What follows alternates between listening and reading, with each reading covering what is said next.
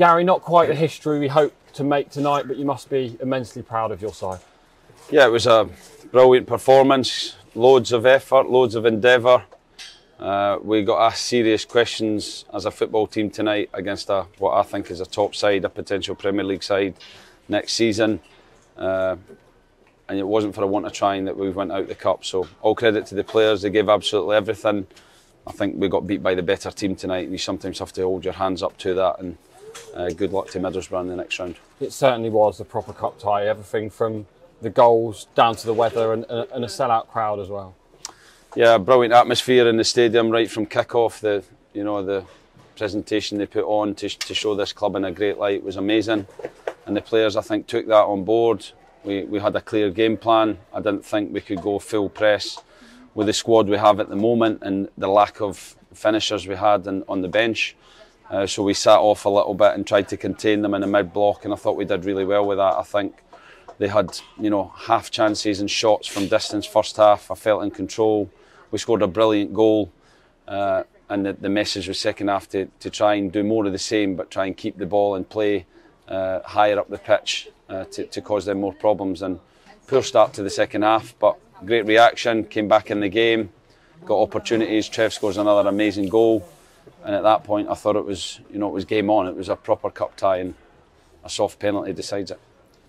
Murmurs, you, you could hear people talking before the game, and a lot of them said don't concede early, don't concede early. So to go 1 0 up inside 12 and a half minutes with a goal like that, were you, were you daring to dream a little bit?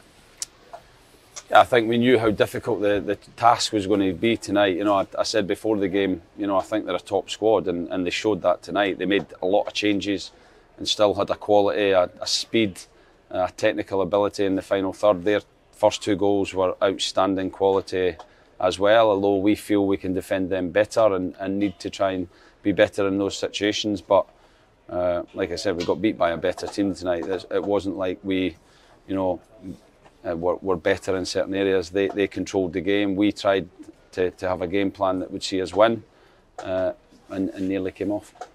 Something we've spoken about a few times in the last few days was that the players were lacking confidence before Lincoln. Perhaps there was, wasn't as much belief there. At no point today did it not feel like, like those players didn't believe that we could get something today?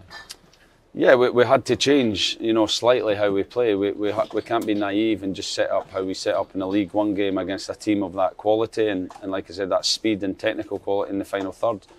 We tried to go back four out of possession so we could get a bit more pressure on the ball higher up. They play with a three and a, a ten in behind, which Kitey dealt with very well. Uh, so yeah, I thought you know the game plan was working. We were obviously not getting a lot of possession, but we frustrated them. They didn't create a lot of opportunities. And second half, we started a little bit sloppy in possession, and we got pinned a little bit more as a back five, and, and that led to, like I said, two wonderful goals. But the second one in particular, uh, we don't want them coming inside the pitch to, to open that angle up for, for players that are of that quality. Ryan will, will naturally be disappointed that he was the one to give away the penalty, but I mean, as we've spoke about those goals, what a wonderful player. He's a sensational player. Uh, he's, he's been amazing since he came to the club.